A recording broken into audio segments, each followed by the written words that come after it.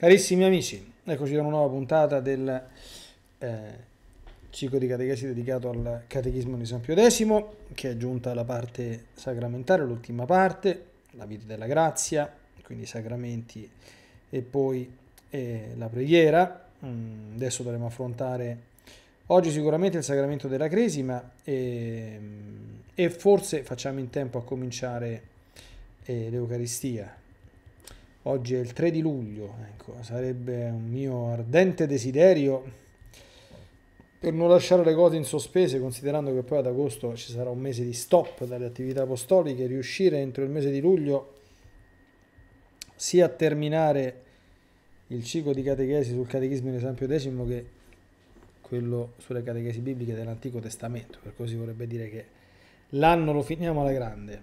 Magari intensificherò un pochino gli incontri, ci proverò senza correre, però eh, speriamo di riuscirci.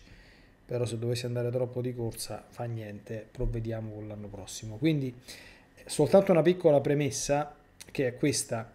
Eh, nella, uh, nel discorso dei sacramenti ci sono delle cose che sono di natura dogmatica e quelle sono immutabili nel corso della storia. Invece ci sono delle cose, già da questa sera le vedremo,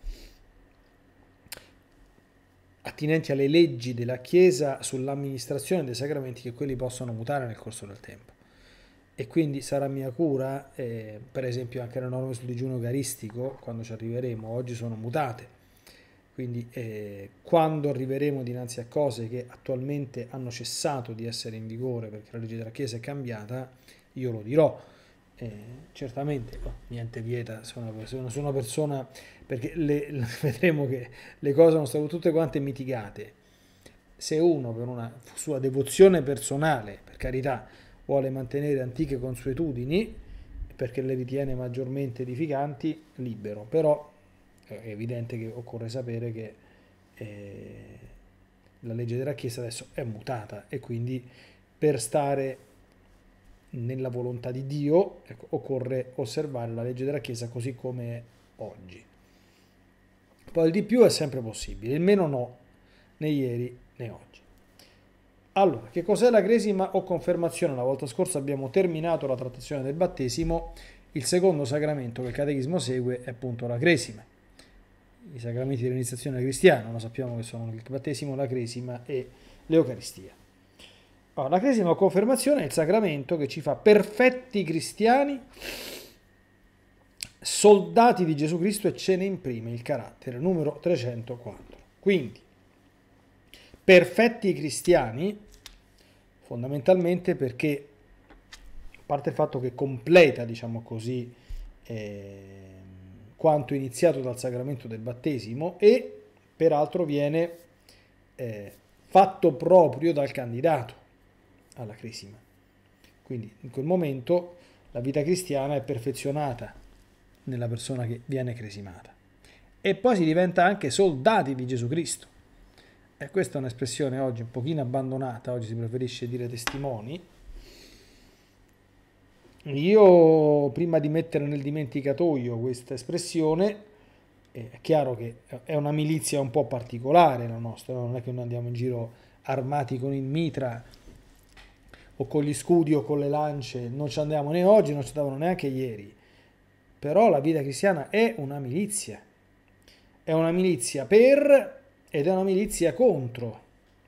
È una milizia per la verità, quindi a difesa della verità, del Vangelo, è una milizia per la santità, quindi noi combattiamo, è una lotta ascetica per acquisire le virtù, per crescere in grazia. Eh, e poi combattiamo per non perdere la fede eh, contro i nemici della nostra salvezza e per non fare naufragio della, nella fede e poi combattiamo per difenderla e per diffonderla la fede anche a costo del martirio eh. Mm, non ci sono pistole e rivoltelle certamente però ci sono armi eh, è un combattimento mio avviso più impegnativo di quello combattuto con le armi materiali dai militari, no? Qual è la materia della cresima numero 305? Materia della cresima è il sacro crisma, cioè olio misto con balsamo consacrato dal vescovo giovedì santo. La cresima è il secondo dei tre sacramenti in cui si usa il crisma, insieme al battesimo e all'ordine sacro. Il crisma chiaramente si adopera anche sia nella consacrazione degli altari che nella consacrazione delle chiese e anche qui dobbiamo dire un tempo perché adesso non si usa più, ahimè, dei vasi sacri, calice e patena in particolare. È l'olio delle consacrazioni, quindi quando si usa il crisma bisogna sempre pensare che c'è qualcosa che si consacra e che rimane un qualche cosa che perdura nel tempo, nel caso poi dei sacramenti dati agli esseri umani, assolutamente indelebile, nel senso che una chiesa può essere sconsacrata, ma un essere umano no. Ecco, qual è la forma della cresima? La forma attualmente è cambiata, quindi la sostanza rimane ovviamente la stessa, ma oggi la forma della cresima, quando si fa cresimare, si sentono queste parole, nome, quindi Leonardo, ricevi il sigillo dello Spirito Santo che ti è dato in dono e mentre dice queste parole il vescovo traccia un segno di croce con il dito pollice unto nel crisma sulla fronte del candidato e poi la pace sia con te. La forma ai tempi del catechismo di San Pio X, quella antica, era ti segno col segno della croce e ti confermo col crisma della salute nel nome del Padre, del Figlio e dello Spirito Santo. Amen.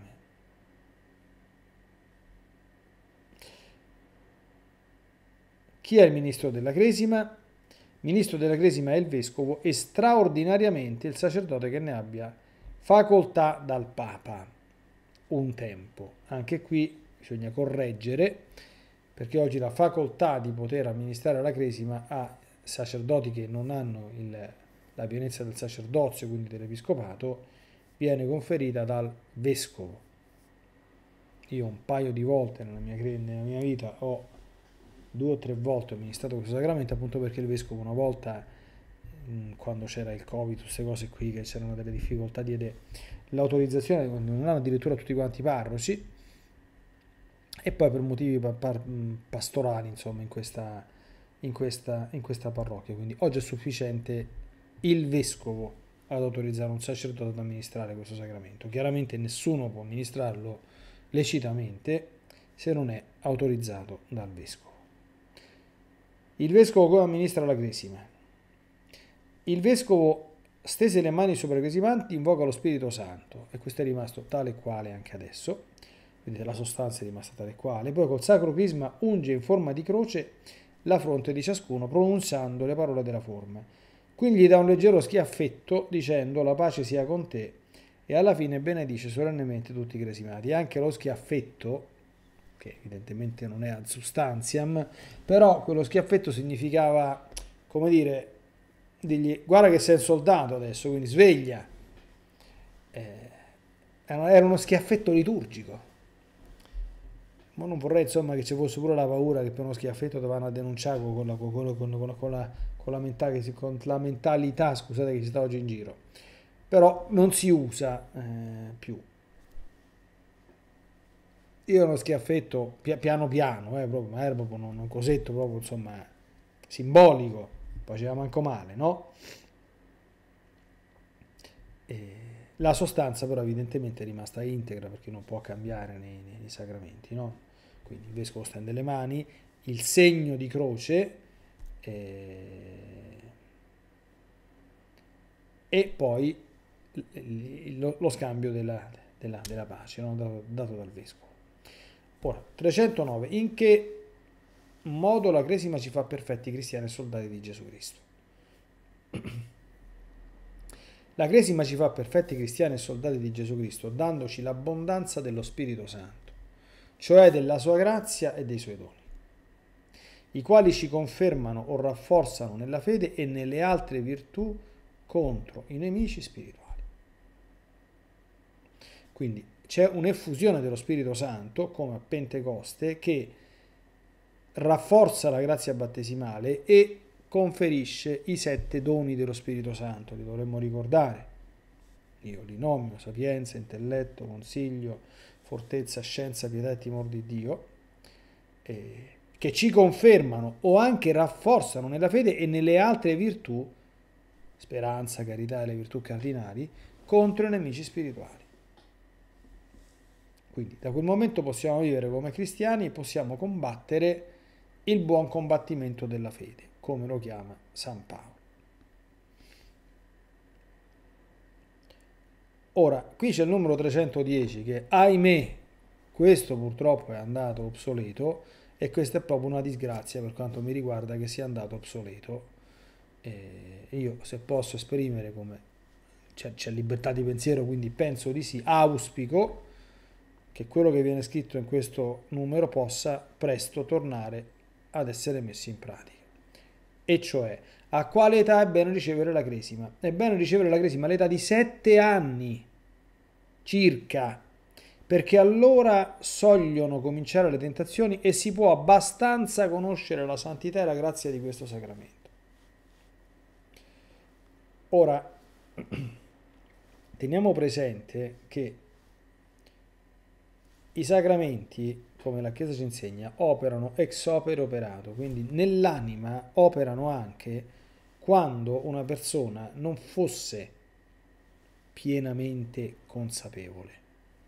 Faccio un esempio per far capire. In Oriente, guardate che in Oriente gli ortodossi sono scismatici, nel senso che non riconoscono il primato petrino, hanno qualche altra, diciamo così, eh, pecca da un punto di vista dottrinale, il filioque per quanto riguarda lo Spirito Santo, chiaramente non riconoscendo il primato petrino, non riconoscono i dogmi di fede definiti dal Papa, in particolare l'Immacolata dell'Assunzione, ma per il resto hanno tutti i sette sacramenti, hanno, hanno, un vero sacerdozio, hanno un vero episcopato, quindi sono dentro, eh, come dire, sostanzialmente dentro, eh, per questo che si chiamano ortodossi, no? dentro l'ortodossia, e loro amministrano battesimo, comunione e cresima all'infante, tutti e tre insieme. Come si fa per noi quando viene battezzato un adulto? La comunione gliela danno con un cucchiaino, piccolo piccolo, di sangue consacrato, un po' come si faceva un tempo con il battesimo che si metteva in bocca al bambino neonato un cristallo di sale come primo nutrimento sacro. Dice, e quello è veramente battezzato, comunicato e cresimato. Poi crescendo quei doni saranno visibili e si, e, e si svilupperanno, no? Quindi non è proprio corretto pensare, specialmente per questo sacramento, che più aumenta la consapevolezza e più sia efficace. Insomma, per quanto riguarda la crisi, perché, perché insomma, la razio che c'era un tempo anche per il battesimo è che prima si ricevono e meglio è. Ora, la Chiesa Latina non ha optato, a mio avviso opportunamente, per seguire la tradizione orientale, quindi tutti e tre i sacramenti nel momento del battesimo. Li ha procrastinati, però capite, se il battesimo lo fai entro i primi dieci giorni, se la comunione addirittura San Pio, San Pio X consentì di farla, prestissimo, lo stesso, si poteva fare la comunione, anche la comunione a sette anni. E addirittura Padre Pio a quei tempi, cioè addirittura la faceva qualche volta a cinque anni. Perché il principio era, vedete cosa dice, a quell'età cominciano le tentazioni e si può abbastanza, a sette anni cominciano le tentazioni e si può abbastanza conoscere la santità grazia di questo sacramento. Purtroppo a 7-8 anni quel maledetto maledetto e maledetto che si chiama Satana comincia a circuire i fanciulli perché appena c'è l'uso della ragione quindi quella rudimentale capacità di discernere il bene dal male quindi l'uso della volontà quello comincia a dargli il tormento. Per questo che la Madonna Fatima disse del piccolo Francesco che sarebbe andato in cielo era un bambino di 7-8 anni adesso mi ricordo però doveva già dire molti rosari. Perché? Perché aveva già fatto una, una quantità di piccoli peccati, presumibilmente, per espiare i quali ci vogliono molti rosari. Ah, che succede? Se tu procrastini la, la, in certe diocesi, eh, mi dicono, qui no, grazie a Dio, ma eh, 14 anni, 16 anni, addirittura 18 anni la cresima. Con l'idea che apparentemente sembra anche una bella, dice, ma questo è un sacramento, appunto la confermazione, quindi uno deve avere questo sacramento convinto di fare una vita cristiana, quindi più è grande più è convinto. Eh, io vi confesso che in passato qualche volta ci ho pensato pure io a questa cosa qui, perché sembrerebbe un discorso ragionevole. Eh, però bisogna vedere l'altro aspetto. Tu fai questo a 18 anni senza la forza che viene dall'effusione dello Spirito Santo per combattere. Non è detto che non peccherà, ma sicuramente c'ha un po' di forza in più. Se tu lo procrastini, forse sarà più consapevole, forse crescendo, però tu l'hai lasciato per anni con un'arma in meno. Vale la pena? Così vale la pena procrastinare la, la comunione? La linea di, di San Pio X e dei santi era appena il bambino ha una formazione rudimentale, chiaramente che capisce che è Gesù Cristo, che sa distinguere il, piano, il pane normale dal pane consacrato, ma questo lo vedremo quando parliamo dell'Eucaristia, fagli questa comunione. Perché difenderà, lo difenderà questo qui lo aiuterà, la comunione accresce la grazia, la comunione preserva, non soltanto rimette le colpe quotidiane, ma preserva dal commettere i peccati, no? Che fai? La, la, la procrastini nel tempo? Questa tendenza che c'è adesso nel... Guardate adesso nel matrimonio che si sposano a 40 anni, tra l'altro preceduti da 5, 10, 15 anni di convivenza, i figli portano le fedi, tutte queste cose qua che si vedono adesso in giro. Ma queste sono tutte quante pazzie eh, pazzie. Io spero, mi pare che ci sia qualche diocesi da qualche parte che sta un po', perché adesso nell'attuale disciplina della Chiesa c'è un margine di discrezionalità non indifferente da parte delle chiese locali.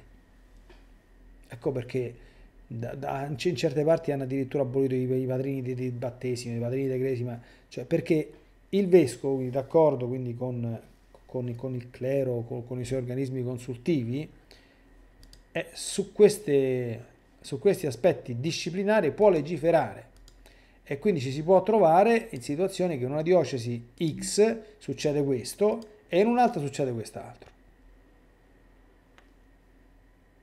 Buono o cattivo che sia questa, questa prassi, può piacere o può non piacere, ma adesso è così.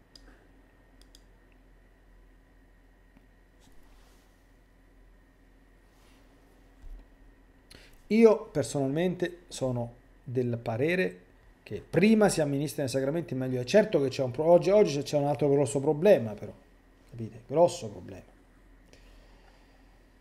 Il problema è questo, ed è quello che muove alcuni vescovi, per esempio, a protrarre un pochettino il tempo di amministrazione della cresima. Qual è? Che se tu dai la cresima ragazzina, la comunione della cresima a 7 anni, con queste famiglie scellerate che stanno in giro, che in chiesa ci mettono piede mai, che succede? E questo è un problema purtroppo, lo riconosco, grosso. Fino a quando c'è il catechismo che c'è una specie, come dire, un mezzo ricatto, cioè se non vengono mai a messa non gli faccio fare la comunione alla cresima. Ma se questi tu gli dai la comunione alla cresima a sette anni, ora perché nel 1900, quando è stato scritto 5 circa, il caraismo un esempio decimo, a messa ci andava il 90% della gente, non esisteva che tu non andavi a messa la domenica. Cioè i cinque precetti generali della Chiesa li osservavano quasi tutti in Italia. Mo tu nel 95%, che io sono parroco da 20 anni, ho fatto solo questo nella vita, cioè spariscono tutti dopo la cresima se li fai modici, tu gli dai un aiuto per combattere, eh, un aiuto per combattere? Ma questi poi perderanno pure l'aiuto ordinario, questi non fanno più la comunione, non, non si confessano più. Capite? Per cui oggi è veramente un problema grosso. Perché da un lato c'è questo principio che prima li, li prendi i sacramenti e meglio è, ma questo funziona se c'è una famiglia alle spalle. Se c'è una società alle spalle. Oggi la società non ne parliamo, perché dalla società bisogna difendersi oggi e pullulano, grazie a Dio, le scuole parentali perché come, come fai? Cioè, io, io, io, veramente non, non, lo so se fossi genitore adesso a, a, che santo uno si deve votare, ma uno non può lasciare un figlio in, in balia di, di, di, di tutto quello che c'è in giro adesso. Non si può. Dice, ma lo metti dentro una campana di vetro, poi non sta con gli altri ragazzini. Io le capisco queste cose qui, non è che non le capisco, ma come fai però a buttarlo dentro certi ambienti? Dove la, la corruzione è sicura, non dire, ma forse non sarà. No, è al 100%. E tu dai la cresima al ragazzino che i genitori non mettono mai piedi in chiesa, mai, quello andrà da solo a messa la domenica a sette anni. Ma dove? Capite? Per, per cui puntualizzo queste cose perché eh, è un problema grosso oggi, proprio grosso. Cioè anche l'amministrazione dei, dei, dei sacramenti, chiaramente la, la prassi ecclesiale è stata pensata per un contesto sociale differente, di cristianità diffusa. Non è che c'era il concordato con lo Stato laico, sì, poi ti faccio insegnare religione, però religione la puoi, la puoi insegnare entro certi limiti, quindi non dico storia delle religioni, ma quasi, perché l'insegnamento della religione, secondo adesso le norme, non può essere catechismo fatto in, a scuola, no. Sono problemi. E la soluzione non è che c'è stata, io, io non è che c'ho la, la soluzione, eh, ci, ci fanno le discussioni sulle discussioni nelle assemblee pastorali eh, nelle riunioni tra, tra, pre, tra, tra, preti e vescovi, è un problema grosso questo qui oggi, grossissimo. Fino a quando qui non c'è una svolta, una, una, quella svolta che tutti aspettiamo, quest'era nuova, questo trionfo del cuore immacolato di Maria, con questo cambio di rotta dove soltanto Dio ci può mettere le mani, perché non c'è possibilità di ritorno indietro, eh, né a livello civile né a livello ecclesiale su certe cose. Non c'è. Almeno io non la vedo. Il verbo essere non si può usare. Se qualcuno la vede, sono tutto orecchie, d'accordo? Per intraprendere qualunque iniziativa evidentemente possibile e lecita per, per remare in questa direzione. Da un punto di vista ecclesiale, perché io sono un prete. Poi se qualcuno sa come fare dal punto di vista civile e politico, sono tutto orecchie anche per lui. Io, io sinceramente non la vedo, nessuna possibilità. E non voglio fare il pessimista.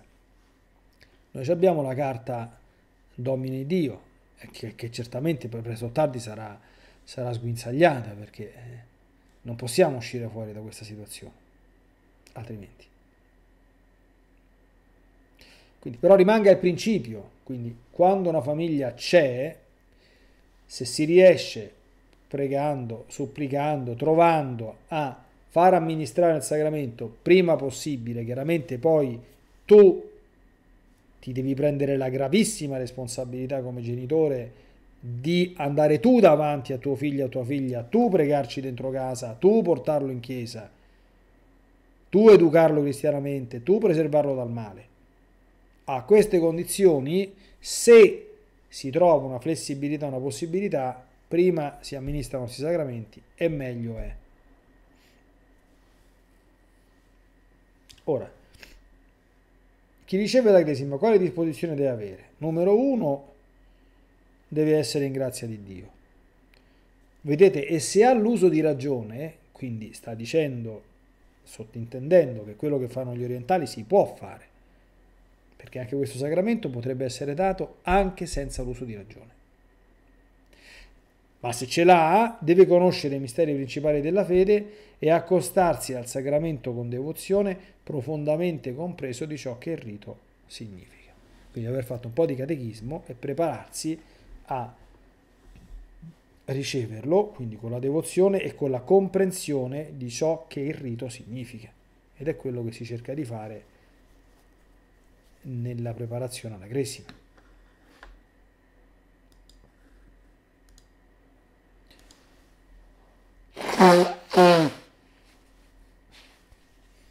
Scusate.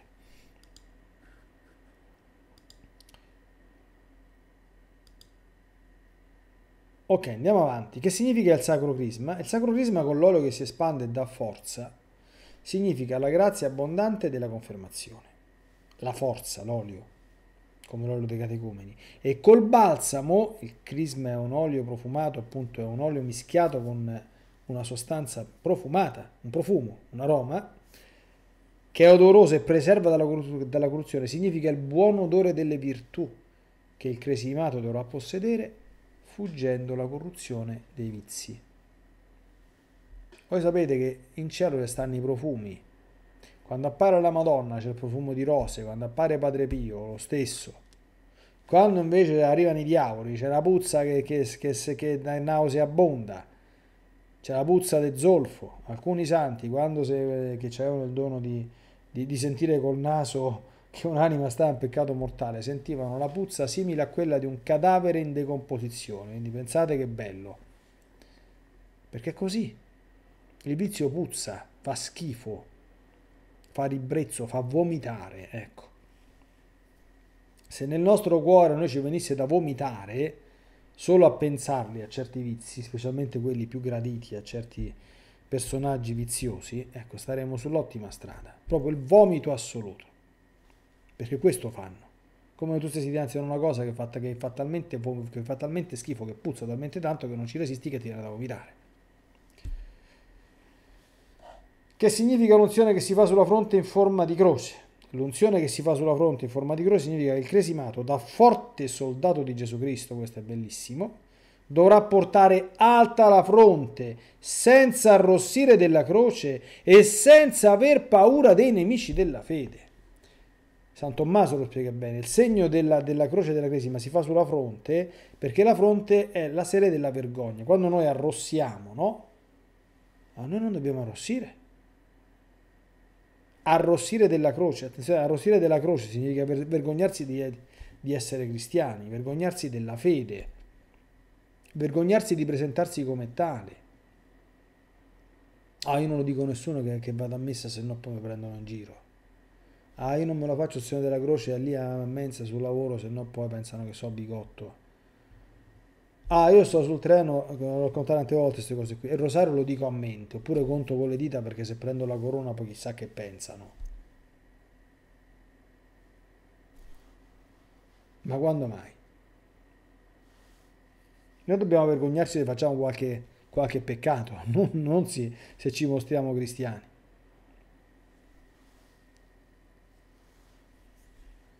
Argomento femminile. Ah, io vorrei tanto portare eh, andare in chiesa a capoverato, però poi divento il bersaglio di tutti e mi prendono tutti quanti in giro. E allora? E allora? Ah, io so prete, vorrei mettere la veste dall'aria, però poi divento la favola di tutti. E allora? Allora? Preferisci essere la favola di tutti quanti gli uomini o essere la favola dei, dei diavoli che si sbudellano dal ride quando c'è qualche sacerdote che non veste in maniera consona al suo essere uomo di Dio e alla sua altissima dignità. Vedi tu? Ah sì, io con la fidanzatina viviamo casti, però non lo diciamo troppo in giro, se no ci prendono tutti in giro. Mi prendono in giro. Veramente si deve vergognare e deve piangere lacrime di sangue chi non è casto, chi non arriva vergine al matrimonio. Questi si devono vergognare. E tanto.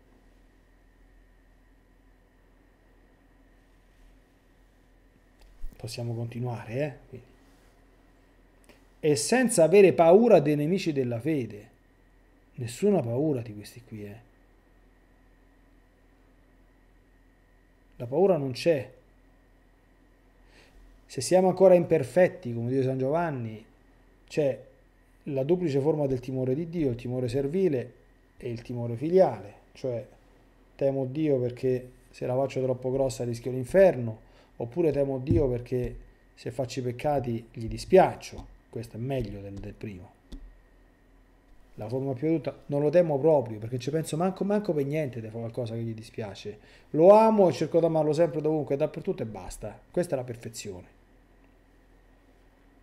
ma paura dei nemici della fede. Nessuna paura. E se mi ammazzano, e se mi ammazzano, la Cresia mi dà la grazia e la forza di morire martire, da buon soldato. Perché i soldati di Cristo non ammazzano il prossimo, ed è la battaglia che noi combattiamo, ma sono pronti a farsi ammazzare per amore del Signore o per amore della virtù, tra qualche giorno la festa di Santa Maria Coretti. Tutti quanti gli impuri e gli impudici non dimentichino mai questa bambina che si è fatta ammazzare per non commettere un atto impuro. Ammazzare in maniera violenta.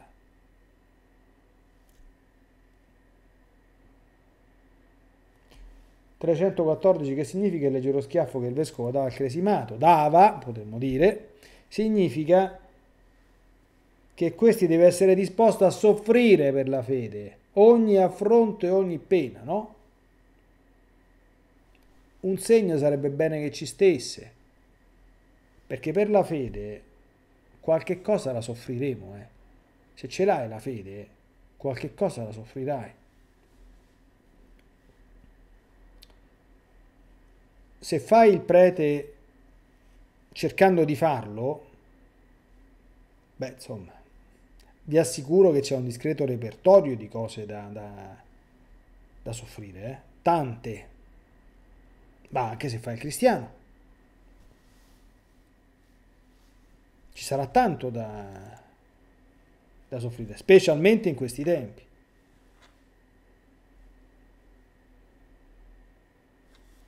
Esempio di, di giovani famiglie ho conosciuto io, aperti alla vita, al terzo e al quarto figlio ci sono un ventaglio di offese che, che vanno così.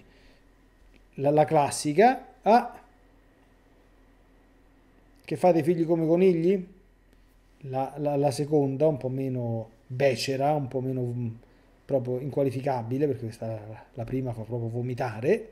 La seconda è, ah, siete incoscienti. E la terza non me la fate dire integralmente se no si manca alla carità, si viene epitetati come appartenenti a un movimento ecclesiale che è noto per, perché le, le famiglie che ne fanno parte sono abbastanza prolifiche, speriamo ovviamente per motivazioni sante e soprannaturali. Quindi ci sono queste, questa, questa gamma di, di, di, di insulti, quindi oltre che uno... Eh, si sacrifica perché aprirsi alla vita è un sacrificio, ti prendi poi gli insulti da parte di chi dovrebbe incoraggiarti o aiutarti. Questo è prassi normale questo qua, oggi.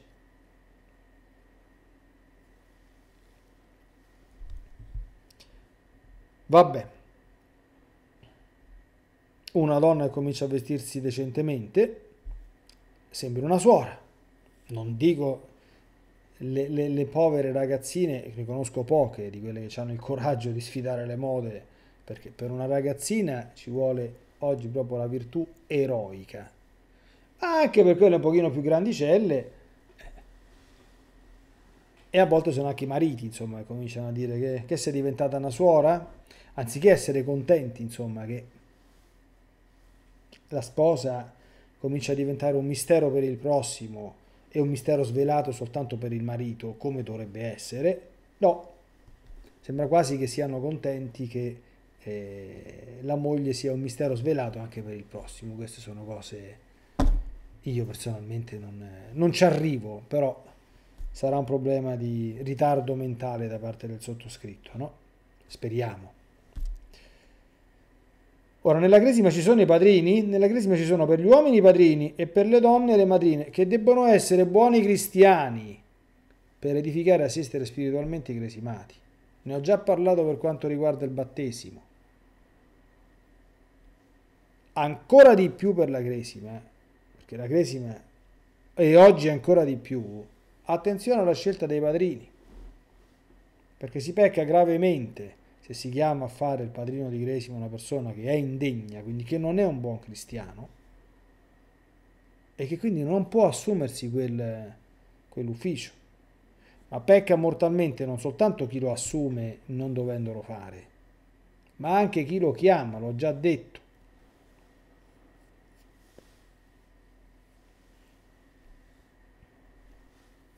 E con questo basti per la cresima. Vedo che abbiamo un pochino di tempo, possiamo introdurre l'Eucaristia, perché l'Eucaristia è, eh, come dire, articolata in una ampia sezione del Catechismo di San Pio X, per cui è, come dire, è, è affrontabile per sezioni. Allora, abbiamo anzitutto il paragrafo 1 che parla del sacramento dell'istituzione del fine, il secondo che parla della presenza reale di Gesù nell'Eucaristia, e il terzo la Santa Comunione, le disposizioni, l'obbligo e gli effetti, e infine il Santo Sacrificio della Messa. Quindi c'è una bella panoramica completa, sintetica e profonda. Andiamo a vederli uno per uno. Numero uno, che cos'è l'Eucaristia? L'Eucaristia è il sacramento che sotto le apparenze del pane e del vino contiene realmente corpo, sangue, anima e divinità del nostro Signore Gesù Cristo per nutrimento delle anime. Prima bellissima definizione. Apparenze. Apparenze tecnicamente si possono chiamare anche specie, non è che ci vuole tanto, no? Una cosa che appare è diversa da una cosa che è. Facciamo, facciamo subito un esempio, no? Un attore che, che interpreta un criminale in un film. Quello non è un criminale, è un attore. Ma nel film appare come un criminale. Tant'è vero, se leggete ogni tanto qualche intervista a qualcuno che si è messo a fare certe serie un pochino, un pochino splatter, un pochino veramente crude, poi se qualcuno lo incontra per strada si è messo paura, ho sentito l'intervista di qualcuno di questi qua, no? Perché dice, mamma mia, il boss, si è messo paura perché quello è, è, nel, nel, nel film, nella finzione, appariva come un criminale, ma non lo è. però l'apparenza, l'apparenza inganna si dice perché l'apparenza è abbastanza convincente no? Eh, per questo la persona che lo vede fuori dal set si mette paura. Mo, mi, mi, si perdoni questo esempio un pochino feriale però il problema è questo qui che nell'Eucaristia le apparenze mai come in questo sacramento è vero che le apparenze ingannano. Perché apparentemente non succede proprio niente. I sensi sono proprio completamente al buio come dice et si sensus deficit ad firmandum cor sincerum sola fides sufficit, scrive il famoso Pangelingua di San Tommaso. Il senso deficit manca, non ce la fa. Sola fides sufficit. Basta la sola fede, anzi ci vuole solo la fede, altro modo di intendere questa espressione. Contiene, vedete, realmente, questa è la parola chiave per la teologia cattolica, realmente corpo, sangue, anima e divinità che sono presenti tutte e quattro in ciascuna specie, sia nel pane consacrato che nel vino consacrato, e frammento di esso o goccia di essa anche minima purché si ritiene correttamente visibile ad occhio umano. Occhio umano non vuol dire che per esempio anche, eh, come dire, in, cioè, per vedere un frammento per esempio sulla patena si vede benissimo perché la patena è d'oro, magari se il frammento rimane sul corporale non si vede con gli occhi, però ad uno sguardo attento lo vedi Qual è la materia dell'Eucaristia? La materia dell'Eucaristia è il pane di frumento e il vino di uva. Qual è la forma dell'Eucaristia? Lo sappiamo, le parole della consacrazione, quelle essenziali. Questo è il mio corpo, questo è il calice del mio sangue, sparso per voi e per molti, remissione dei peccati. Chi è ministro dell'Eucaristia? Questi sono numeri abbastanza semplici. Il ministro dell'Eucaristia è il sacerdote, il quale, pronunziando nella messa le parole di Gesù Cristo, cambia il pane nel corpo e il vino nel sangue di lui. Attenzione, questa è la cosa fondamentale ed essenziale qui mi devo, mi devo, mi devo permettere un attimo di, di fermarmi perché le stupidaggini che vanno in giro adesso sono grosse quanto il fumo. Allora, la cosa essenziale perché ci sia l'Eucaristia e quindi perché ci sia la messa è che un sacerdote validamente ordinato nella Chiesa cattolica, quando celebra la messa, pronunci correttamente le parole della consacrazione, ovviamente avendo l'intenzione di fare ciò che fa la Chiesa, intenzione che è ordinariamente presunta. Basta! Qualunque cosa abbia fatto, se sta in peccato, se non sta in peccato, se ce l'ha col vescovo non ce l'ha col vescovo, se ce l'ha col papa non ce l'ha col papa, sono cose irrilevanti ai fini della validità della consacrazione e della messa.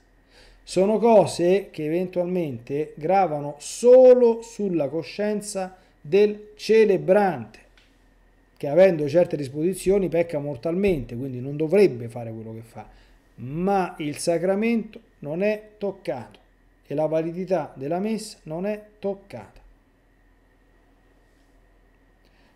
Stesso discorso, se mi, se mi si consente, perché io queste cose le devo dire da, da, da sacerdote, no? Ora, io personalmente non ho mai nascosto, cioè eh, chi mi conosce lo sa, una predilezione grande per la messa antica è più bella, è più profonda, è più ricca, ha un significato mm, che si avvicina moltissimo al dogma, cioè, tu, tutto quello che volete, d'accordo? Tutto. È stata fatta la riforma liturgica e adesso c'è la messa riformata, la messa riformata è messa, quindi non è un qualche cosa che non è, non è più valido. Poi per quanto riguarda il contorno, quindi la fruttuosità, l'efficacia santificante, eccetera, eccetera, di questo certamente si può discutere. Però, specialmente adesso che le condizioni, de, de, de, che, che ci sono delle restrizioni per quanto riguarda la celebrazione in vetus sordo, una persona che dovesse decidere di non andare a messa perché non c'è una messa in vetus sordo fa una stupidaggine È vero che oggi stanno altri problemi di altro genere, ahimè. Come diceva buonanima di Benedetto XVI, abusi liturgici al limite del sopportabile, quindi che uno va a messa, pure se la messa è valida, gli viene il mal de panza. È un problema reale, io dico alle persone, dico va bene, eh, ok, però cerca qualcosa di decente perché almeno a quello che a me risulta non è che siamo proprio ridotti che siamo in un mare magnum assoluto. Ci sono celebrazioni belle, dignitose, eh, alcune anche edificanti se sono celebrate con una buona ars celebrandi. Quindi se tu ti trovi in condizioni che gira, vai, e se devi fare un pochino di fatica e se non lo puoi fare, eh, ti metti a fare gli atti di, di riparazione, chiudi gli occhi, assisti alla messa, ti fai la comunione e assisti alla messa e hai fatto la comunione. Cioè, capite? Cioè, il distanziarsi eh, sacramentale, a meno che non ci siano delle, delle condizioni proprio del tutto straordinarie,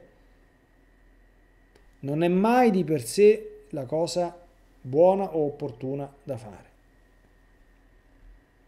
A meno che non ci siano delle circostanze ben precise poi ne parleremo quando arriviamo alla comunione, che è il terzo paragrafo, sicuramente non oggi, perché ci sono qui altri problemi attuali che tutti conoscono.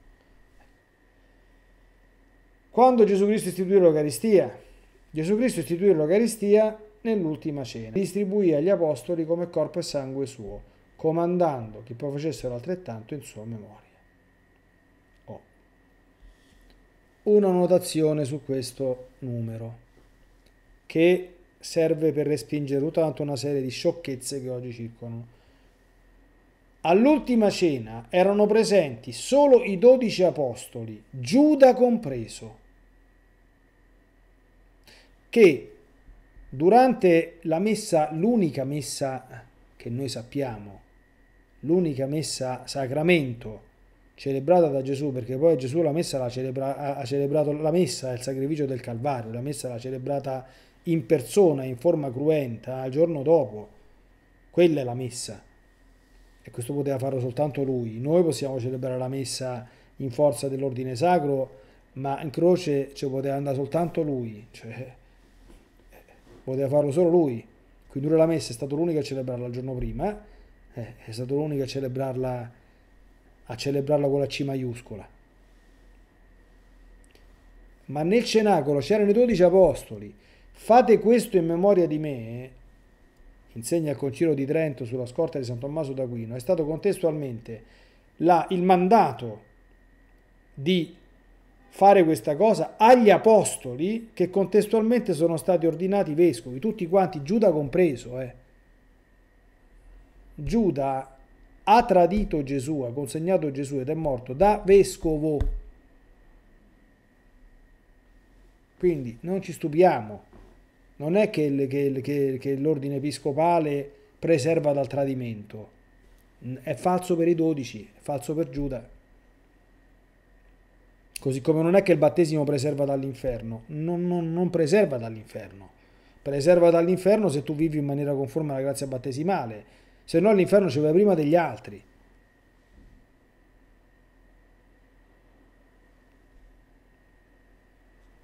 E quindi, per esempio, prendete e mangiatene tutti, l'ha detto agli apostoli. Attenzione, Prendete, cioè prendetelo con le mani, l'ha detto agli apostoli, non l'ha detto a tutti. E mangiatene tutti, cioè che tutti devono fare la comunione. L'ha detto agli apostoli, perché come vedremo, il celebrante non può non fare la comunione.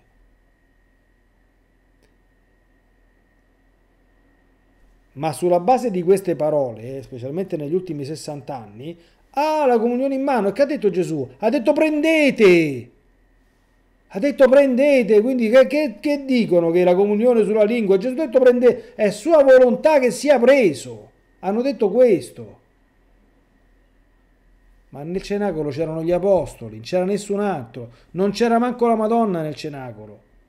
Non ha detto Gesù alla Madonna prendete e mangiate, manco alla Madonna.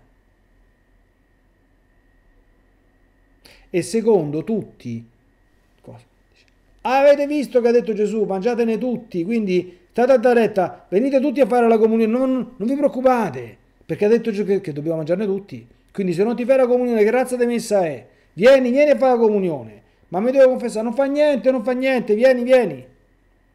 Oh! Tutti hai riferito sempre a 12 apostoli, non a tutti quelli che assistono alla messa che se tutti stanno in condizione di potersi comunicare, viva Dio, magari. Ma bisogna stare in grazia per comunicarsi.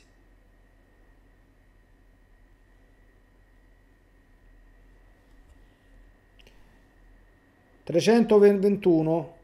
Perché Gesù Cristo istituì l'Eucaristia? Gesù Cristo istituì l'Eucaristia perché fosse nella messa il sacrificio permanente del Nuovo Testamento e nella comunione il cibo delle anime a perpetuo ricordo del suo amore e della sua passione e morte. I fini principali. Nella messa il sacrificio permanente del Nuovo Testamento. Uno solo è il sacrificio, sacrificio eucaristico, che dovrebbe, come si spera ancora sia, salire incessantemente al cielo, perché adesso che il Vangelo sta dappertutto, sta dappertutto con tutti quanti i fusi orari, ci stanno ancora 400.000 rotti preti in giro, sperando che tutti celebrino tutti i giorni, non dovrebbe esserci interruzione, dovrebbe esserci un'elevazione continua di questo sacrificio al Padre. E poi nella comunione cibo delle anime. L'anima ha un nutrimento come ce l'ha il corpo. È l'Eucaristia. E poi attraverso l'Eucaristia ci ricordiamo continuamente, e questo accade anche quando stiamo dinanzi a Gesù Eucaristia, che è l'ultimo aspetto, del suo amore, della sua passione e della sua morte. Della sua passione e morte soprattutto quando siamo a messa, del suo amore quando stiamo dinanzi a Gesù sacramentato.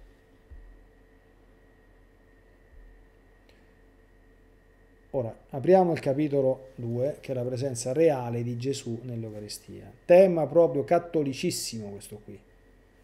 Tema su cui c'è stato fatto eh, parte del Concilio di Trento. Tema su cui nel corso della storia ci sono state tante di quelle eresie che, ahimè, perché uno scoglio, non è facile crederci. Allora, nell'Eucaristia 322. C'è lo stesso Gesù Cristo che è in cielo e che nacque in terra da Maria Vergine. Che rispondereste voi? O lo stesso è. La risposta? La risposta è semplicissima. Ed è che nell'Eucaristia c'è lo stesso Gesù Cristo che è in cielo e che nacque in terra da Maria Vergine. Lo stesso. Solo che il miracolo che accade nel, nel, nell'Eucaristia è che, cosa che è impossibile, è che la sostanza della sua persona non appare attraverso gli accidenti propri. Perché la sostanza del verbo incarnato, ok, si, si, si manifesta esternamente almeno attraverso le sue fattezze naturali. Ma nell'Eucaristia non si manifesta in questo modo cioè si manifesta, o, o meglio, sta nascosta dietro degli accidenti di una sostanza che non c'è più, che è il pane e il vino, e che copre la sostanza corpo di Cristo e sangue di Cristo, ossia per concomitanza tutta la sua persona, lo stesso che è in cielo e che nacque da Maria Vergine. E qui, figlioli miei cari, ognuno di noi deve dire nel cuore, ma io ci credo senza dubbio alcuno a questa cosa. Interroghiamo il nostro cuore. Cioè questa è una verità oggettiva, che tu ci credi o non ci credi, questo è e questo resta. Però se tu ci credi cambia il tuo modo di relazionarti con Gesù Eucaristia. Una persona che ha una fede autentica nell'Eucaristia, per me questo è così, poi può essere che mi sbaglio, ma come fa a non andare a messa tutte le volte che può? Come fa a non andare almeno qualche volta a trovare Gesù nel tabernacolo? Come fa a non fare la comunione più spesso che fa e a farla come Dio comanda? Cioè, ma se te te venisse davanti Domini Dio nostro Signore, ma tu che fai? Che fai? Gli dai la pacchetta sulle spalle e gli dici eh, ciao mofra. A domine Dio. Gli faresti così?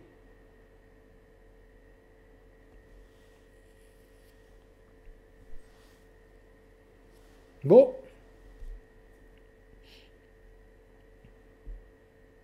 Trecentoventitré.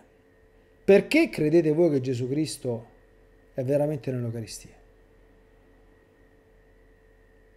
Risposta. Credo che Gesù Cristo è veramente nell'Eucaristia, perché egli stesso disse, usando il verbo essere, corpo e sangue suo, il pane e il vino consacrato. Cioè, quando San Tommaso d'Aquino studia l'Eucaristia, dice che nell'ultima cena Gesù ha detto, prendete e mangiate, questo è il mio corpo.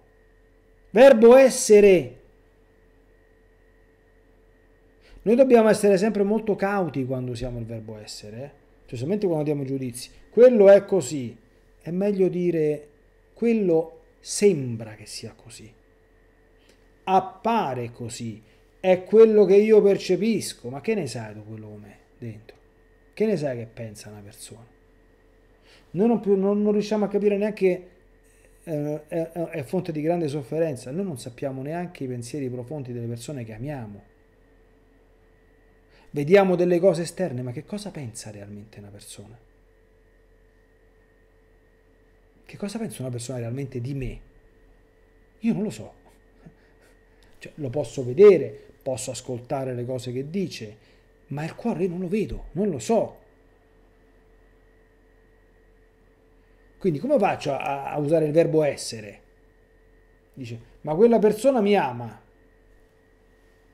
mi sembra che quella persona mi ami, cioè a meno che non c'ha doppia vita, che non è schizofrenica, non c'è secondi fini, se sa mai.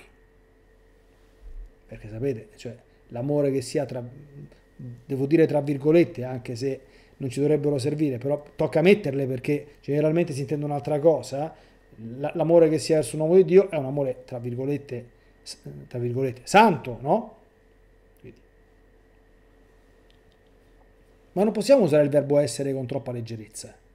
Ma se, se colui che è la parola di Dio, il verbo, penso che non debba prendere lezioni di come si usa la sintassi di una, di una lingua, no? Se dice est,